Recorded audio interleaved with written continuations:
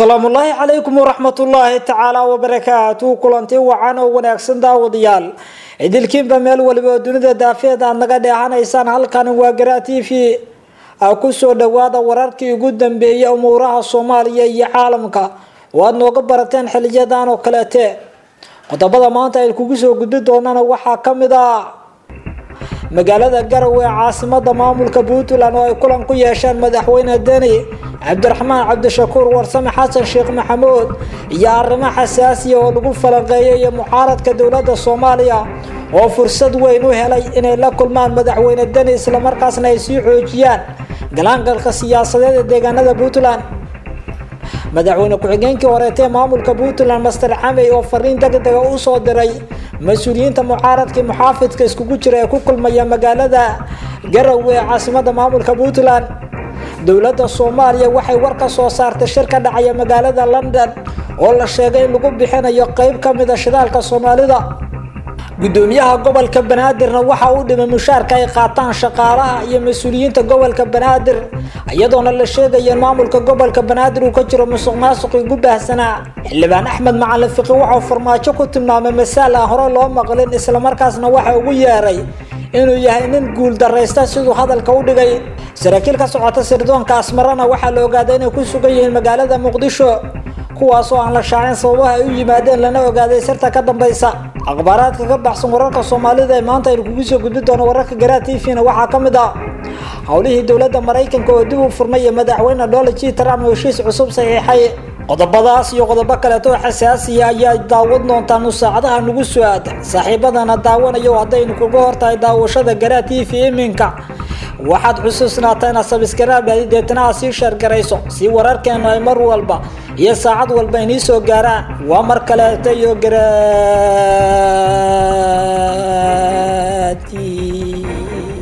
v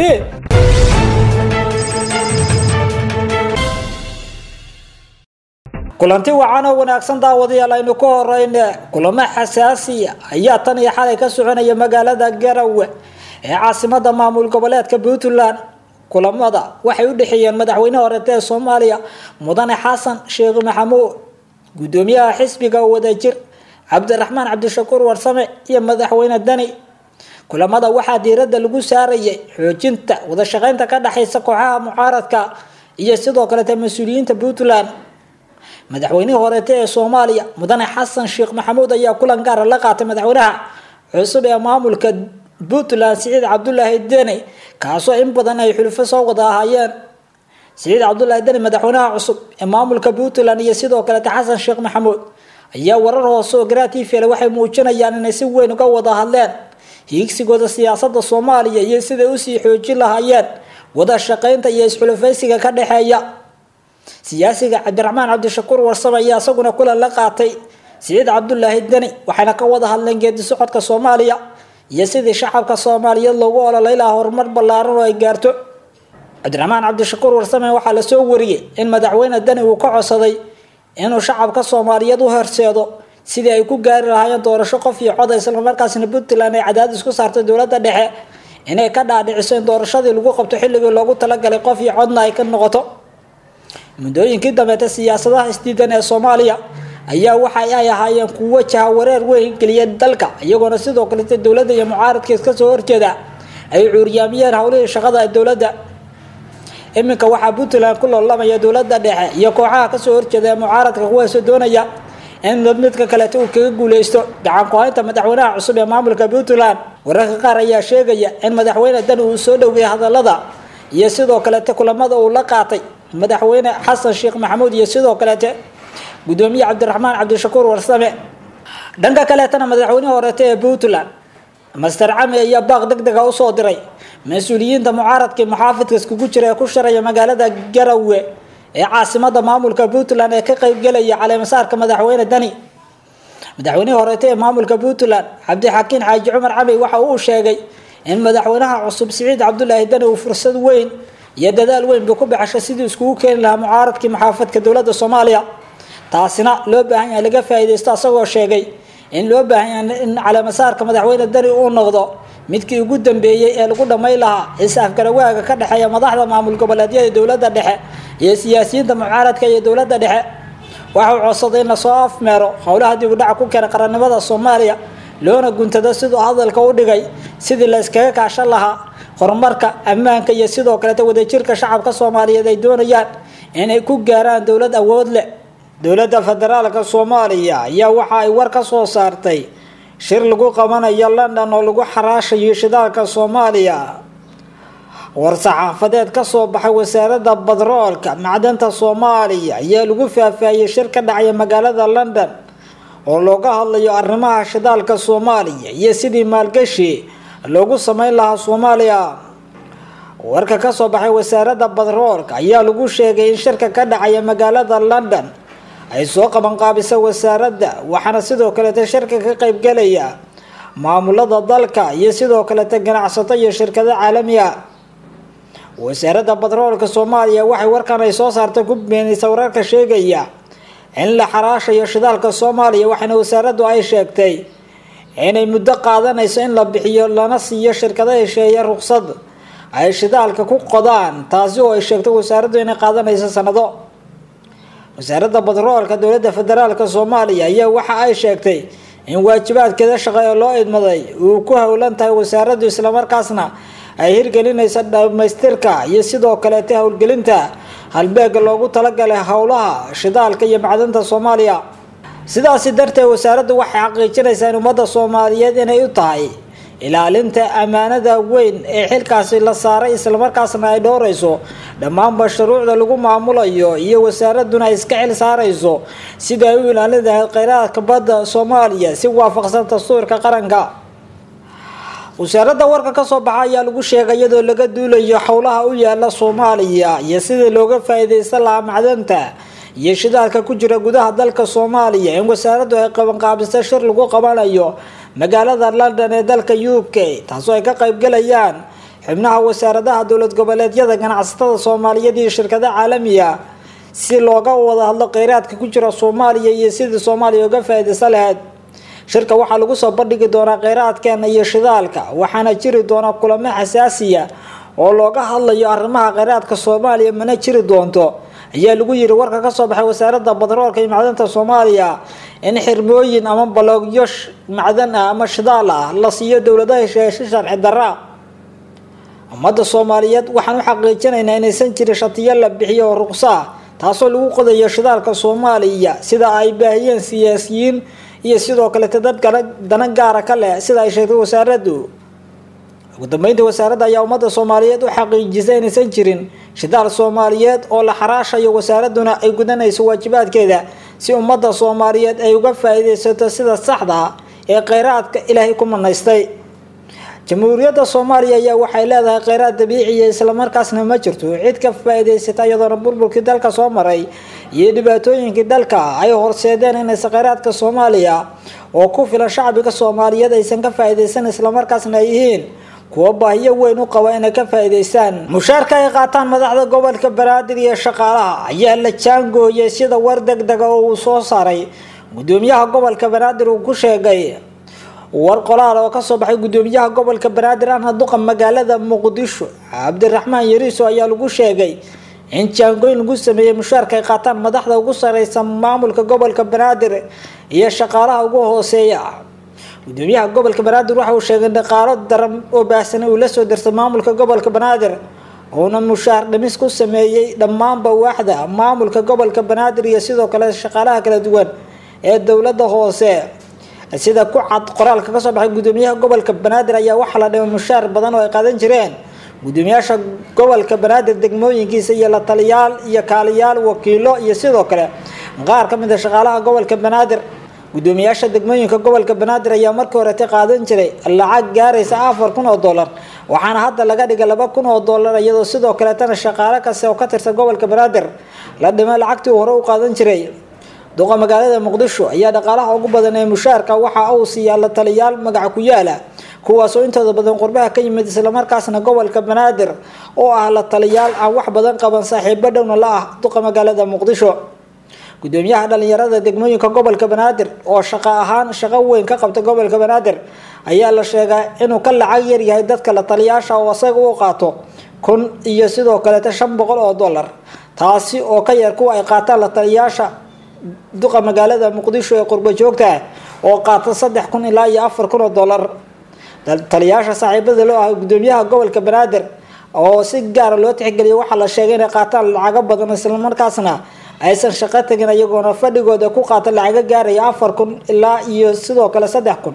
Sida ay wararku sheegayaan xubno ka tirsan maamulka gobolka banaadir oo aan la xiriirin waxa ay sheegeen inaysan jirin dhaqaale xumo xilligan soo food saarta gobolka banaadir balse la doonayo in dhaqaalaha la bixiyo awgeed oo tiro badan in laysku beeqaaniyo maadaama gudoomiyaha gobolka banaadir. Injineer yariiso uu tan iyo markuu xilka qabto uu qaato dad badan oo asaga saaxiibo dhowla ah oo qaarkood ay yihiin la taliyaal kuwaas la doonayo in mushaarka laga baxsho gobolka banaadir la deeqsiiyo oo loo qoondeeyo maamulka gobolka banaadir ayaa waxaa la sheegaa inuu ka jiro musuq maasuq baasan islamarkaasna waxay dhowaan guddiga maaliyadda baarlamanka soomaaliya war ay soo saareen ay ku sheegeen in gobolka banaadir shaqaalihiisa ah loo maray habkii loogu talagalay iyo sidoo kalete si cadaalada. Muddooyinka dabate gudoomiyaha gobolka banaadir waxa uu sheegaya inuu ku dadaalayo sidii shacabka soomaaliyeed ee magaalada muqdisho ay u heli lahaayeen cadaalada ay u baahan yihiin xildhibaan axmed macalin fiiqo oo ka mid a baarlamanka soomaaliya ayaa masaal la yaab leh waxuu la meldhigay madaxweyne farmaajo. Xildhibaan axmed macalin fiiqo oo ka mid a baarlamanka soomaaliya ayaa bartiisa facebooka soo dhigay. War uu ku sheegay in madaxweyne deni oo dooran wax ka yar bir gudaheed uu isku keenay. Mucaaradka iyo maxaafidka dowladda soomaaliya uuna iskugu geeyay magaalada garowe halka madaxweyne farmaajona uu ku guuldaraystay labadii sano ee xilka hayay axmed macalin fiqi waxa uu sheegay madaxweyne farmaajo uu la mid yahay nin raaraaciyo xoole ammaanaha oo ka soo yeeday isagoo soo lumiyey islamarkaasna ku faraxsan wixii uu soo lumiyey iyo howlihii uu haleeyey waxauna sheegay madaxweyne farmaajo labadii sano ee la soo dhaaf waxyaabihii uu haleeyey uusan ka walwalayn inuu ku faraxsan yahay siduu hadalka u dhigay. Munaasabada calimasaarka ee ka dhacaysa magaalada garowe ayaa waxa ay kulmisay mas'uuliyiin badan oo iskugu jira dowladda dhexe iyo kooxaha mucaaradka ay ka soo horjeeda kuwaasoo dowladda waxeelootanka la dhexeeyo. Madaxweynaha cusub ee puntland ayaa bil ka yar doornaa waxaana la sheegay inuu ku guuleystay inuu dhammaanba iskugu yeero madaxda mucaaradka iyo sidoo kalete kuwa dowladda soomaaliya si ay uga qeyb galaan calimasaarkiisa halkaasoo fursad u noqon karta inay isku arkaan madaxda mucaaradka iyo sidoo kalete kuwa muxaafidka. Waxaa suurtagala in shirka garowe uu gobolxaar u noqdo kulamo ay yeeshaan madaxda dowladda soomaaliya iyo kooxaha ka soo horjeeda islamarkaasna xal looga gaaro. Geedi socodka siyaasadeed ee soomaaliya iyo halka soomaaliya ay ku jeedo. Dowlada soomaaliya ayaa muddooyinkii dabate waxay wada dadaalo ka dhanan kooxaha mucaaradka halka mucaaradkuna ay soo jeedinayeen eedeymaha aan loo kala abadayin ee dowladda lagu cambaareynayo weli waxaad la socotaan wararka garaa t v oo daawanaysaan haddii aad ku cusub tahay daawashada janaalkan garaa t v fadlan sabskaraabdhe kadibna sheergaree leegna saar si aad u heshid wararka degdega ee garaa t v iyo xogta ku saabsan amuuraha soomaaliya iyo caalamka. Iminkana muqdisho saraakiil ka tirsan ciidamada sirdoonka dalka ee leteri ayaa ku sugan magaalada muqdisho ee caasimada soomaaliya. Saraakiil ka tirsan ciidamada sirdoonka dalka ee leteri ayaa si qarsoodiya ugu sugan magaalada muqdisho ee caasimada soomaaliya sida garaa t v la wareediyo ay u xaqiijiyeen dad lagu kalsoon yahay ayaa garaa t v u xaqiijiyey in ilaa iyo sideed askari oo ka tirsan sirdoonka magaalada asmar ay ku sugan yihiin muqdisho oo maalmihii la soo dhaafay ay joogeen. Inkasteeto aan la cadayn waqtiga ay sida rasmiga u yimaadeen magaalada muqdisho. Afar ka mid a saraakiisha ayaa degan mid ka mid a hoteelada magaalada muqdisho mana shaacin karna magaca hoteelka. Sababo jira awgood halka afar kalena ay degan yihiin xarunta hay'adda nabad sugidda iyo sirdoonka qaranka ee niisa ee magaalada muqdisho.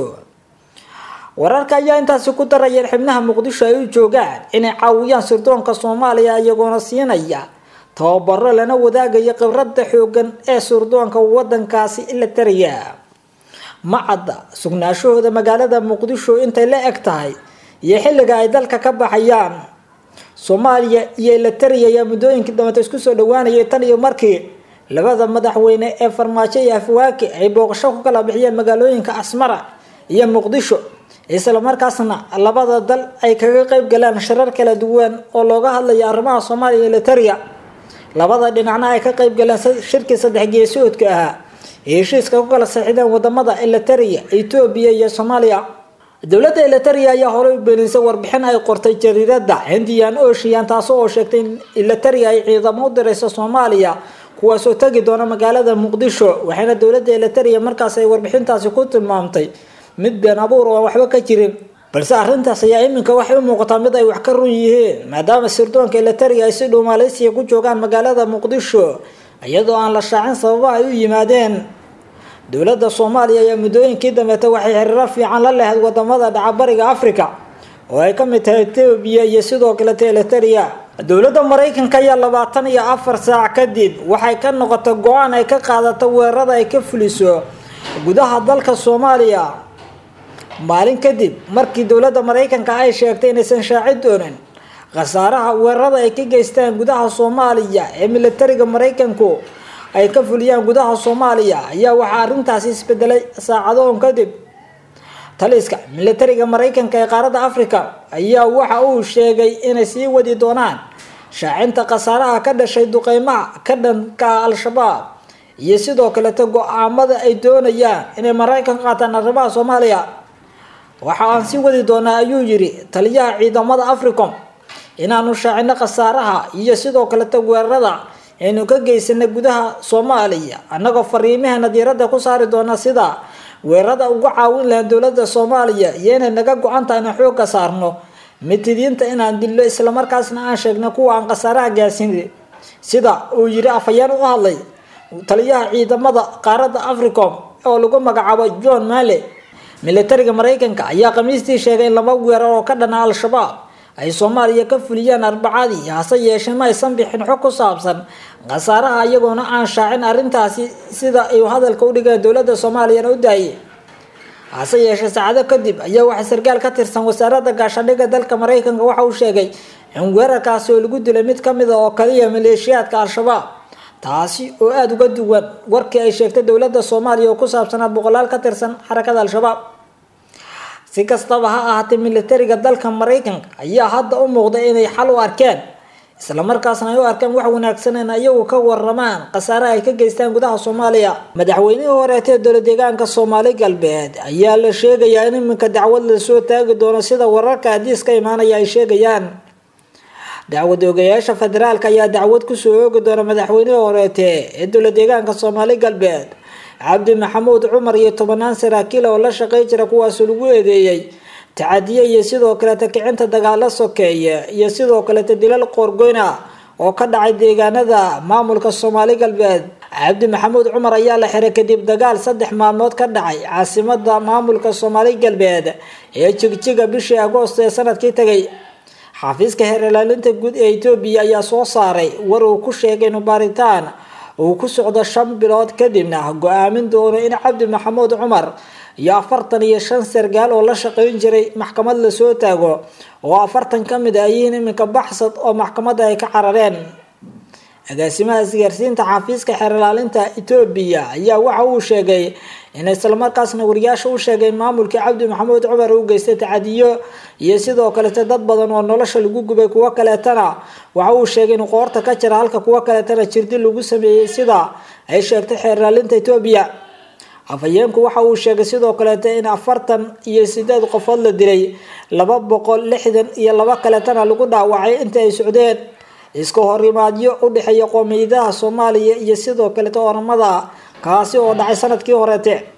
tan iyo qallaasihii sannadkii horeete ka dhacay magaalada jigjiga ee maamulka soomaali galbeed ayaa weli waxaa jira qallaaso siyaasadeed oo ka jira